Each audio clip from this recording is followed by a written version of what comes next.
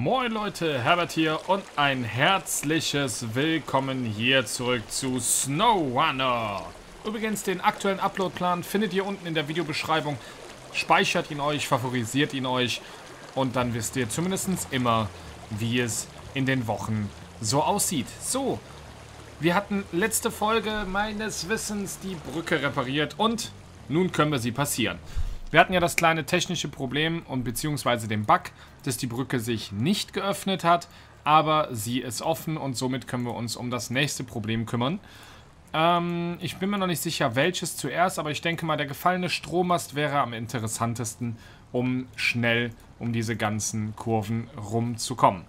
So, für den gefallenen Strommast brauchen wir Betonblöcke und ähm, Stahlträger da wir jetzt einmal hier unten sind, an der Ecke, äh, wir sind ja hier vorne, fahren wir jetzt einmal ganz kurz diesen Weg hier hoch.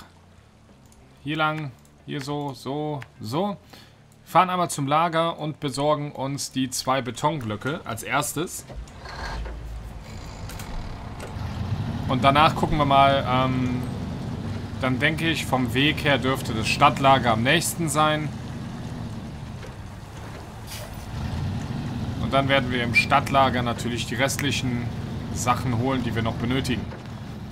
Es freut mich übrigens, dass du wieder eingeschaltet hast, derjenige, der gerade zuschaut. Vielen lieben Dank dafür und ich wünsche dir auf jeden Fall gute Unterhaltung. Mein Gott, das ist aber immer eine Schufterei hier hoch, ne Leute? Also, ich liebe dieses Spiel übrigens. Also, ich habe selten ein Spiel so gefeiert, wo man im Matsch rumspielen kann. Aber Matsch ist einfach genial. Es sieht genial aus, es macht genial viel Spaß. Leute, wenn ihr es noch nicht habt, unten in der Videobeschreibung ist der Link, holt es euch.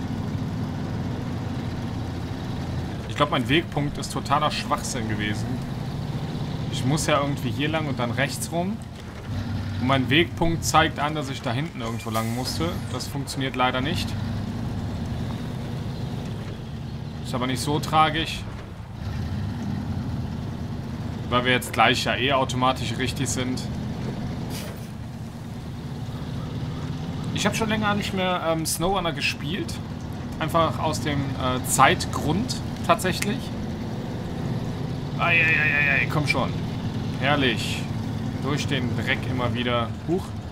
Auch manchmal leicht wegdriften. Es gibt schlimmere Probleme als das. So, warum ist der Weg so komisch? Weil dieser eine Wegpunkt ähm, Pipi-Kaka ist. Anders kann ich es nicht beschreiben.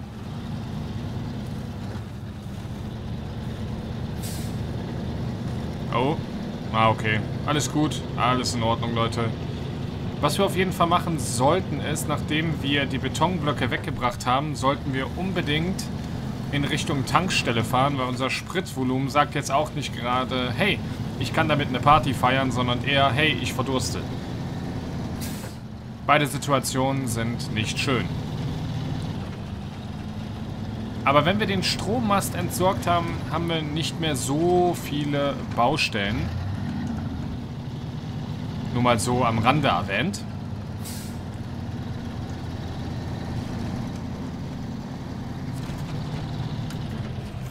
So, Frachtverwaltung Ah, hier kriegt man auch die Stahlträger. Das ist das, was einer in der ähm, Community erwähnt hat, dass man überall die Sachen bekommt. Das heißt, im Stadtlager oder wo auch immer. Wir hätten gar nicht diesen Umweg fahren müssen. Gut. Ähm, auf die Frage hin, ob ich das Spiel denn vorher überhaupt mal spiele. Nein. Um die Ersteindrücke von mir selbst nicht zu verfälschen. Das gibt wenige YouTuber, die das noch so machen. Das stimmt. Aber ich bin dafür der Ehrlichste. So, ähm, gehen wir mal hier runter, hier lang, hier an der Werkstatt vorbei. Ja, perfekt, dann an der Farm vorbei, so, so und so. Passt. Weg ist gebaut und den Weg werden wir auch nehmen. Es wird kein leichter Weg, denn dieser Weg wird steinig und schwer. Einfach mal so einen Filmtitel, äh, ne, einen Liedtitel zitieren. Kommt immer gut.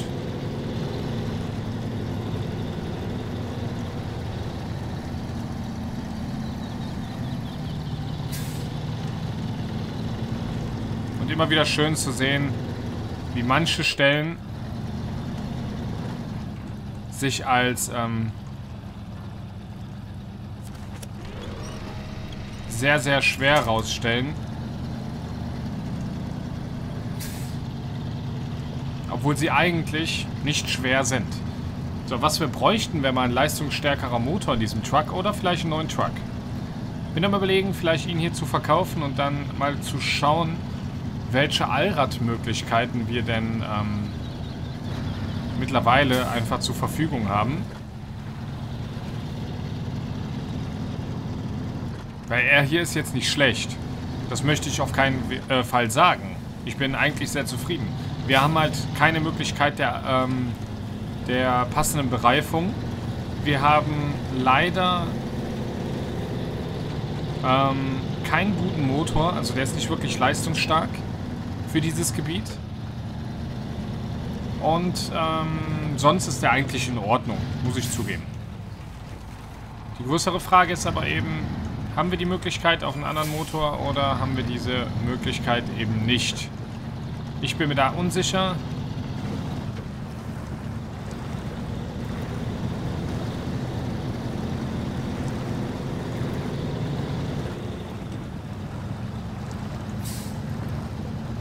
Soviel ich weiß, haben wir aktuell nicht die Möglichkeit, auf einen anderen Motor zuzugreifen.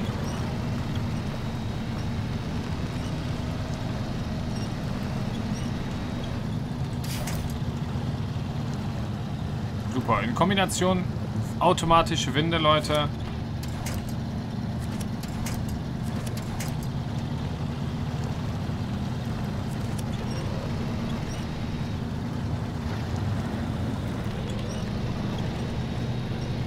Kommen wir hier überall super raus. Und jetzt gleich haben wir wieder den Grip, den wir brauchen, wenn wir hier aus diesem Tiefmatsch raus sind.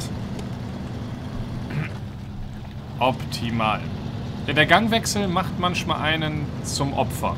Das hört sich komisch an, aber das ist die Problematik halt, ne?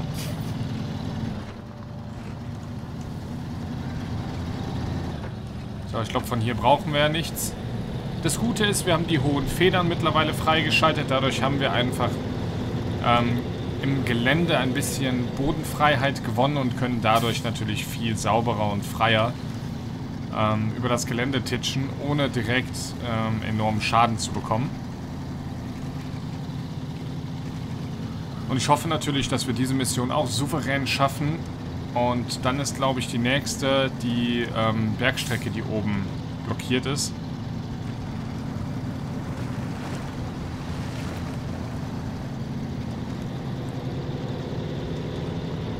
Glaube tatsächlich, dass wir durch diese Pfütze noch nie gefahren sind sondern eher mal außen rum, weil wir gedacht haben, scheiße, da bleiben wir bestimmt hängen.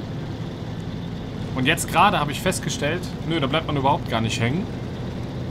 Da ist alles in Ordnung. Was ich aber noch nicht verstehe, ist, was mir Stahlträger und Betonblöcke bei einem umgefallenen Mast helfen sollen. Sinnvoller wäre es doch, das Ding einfach auf Seite zu schieben. Aber wir werden sehen, was da Schönes gebaut wird. Ich bin offen für Neues.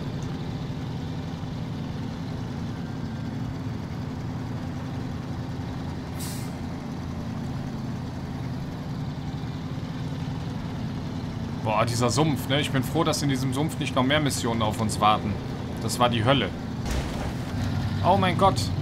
Hab ich mich erschrocken. Was war das? Das Problem ist, ähm, mein Lenkrad wird ja nicht richtig erkannt. Leider.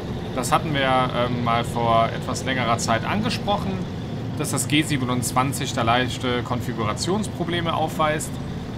Und ähm, seitdem fahre ich ja mit Tastatur. Ich meine, das geht wunderbar. Ich habe da keine ähm, Probleme mit, außer jetzt gerade, dieses Rumschlenkern, das entsteht halt. Aber sonst definitiv ohne Befund. Aber das Lenkrad reagiert trotzdem aufs Force Feedback und wenn irgendein starker Schlag kommt, knallt das unterm Tisch, Leute. Das ist gruselig. Vielleicht wird der Mast auch neu aufgerichtet. Wäre auch noch eine Möglichkeit, wo ich sagen würde, ja gut, das wäre noch möglich. So, wir nehmen die Aufgabe natürlich an.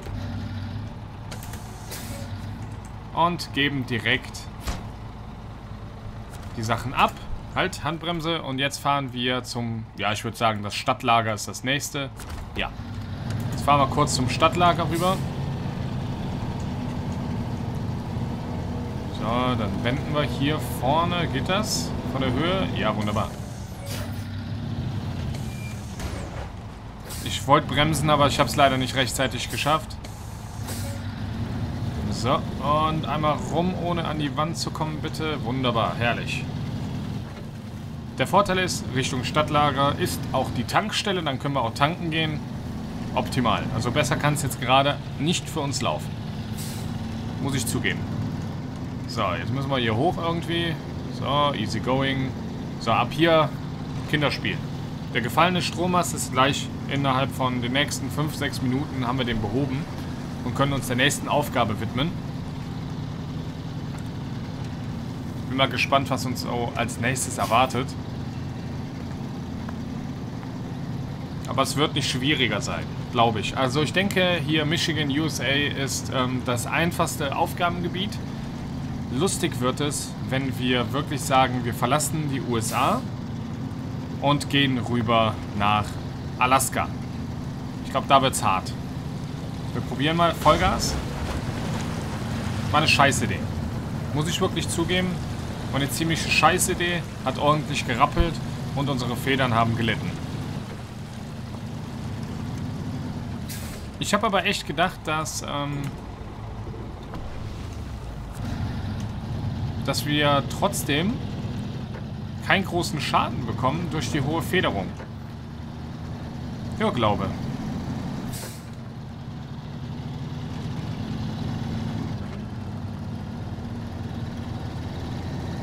Hier ist ein Hotel. Wir wollen nicht ins Hotel, wir wollen hier in die Stadt, die uns schön leuchtend willkommen sagt.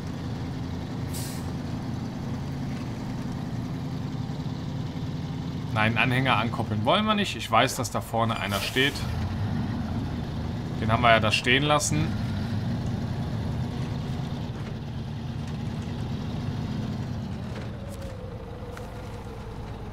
Und einmal die Stahlträger und dann düsen wir los.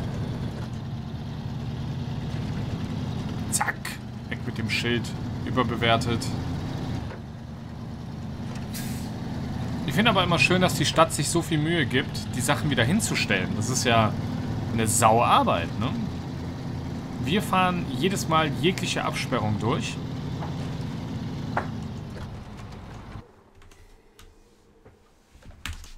Ich habe das Gefühl, dass die Katzen heute irgendwie ein Rad abhaben. Die haben gerade es geschafft, die Kugel von ihrem Spiel irgendwie rauszufummeln und damit gegen die Tür zu hauen wie so ein Bescheuerter. Also, was mit den beiden manchmal los ist, Leute, ich kann es euch nicht sagen. Keine Ahnung. Water over Road. Kein Problem für uns. Egal.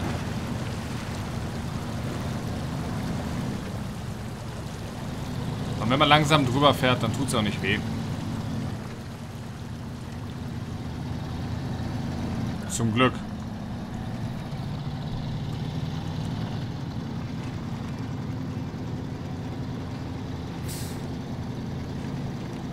Wir schaukeln uns natürlich arg auf, weil die Stahlträger sau schwer sind. Und durch die hohe Geländefederung, die wir eingebaut haben, schaukeln wir einfach. Das ist einfach so, aber alles gut.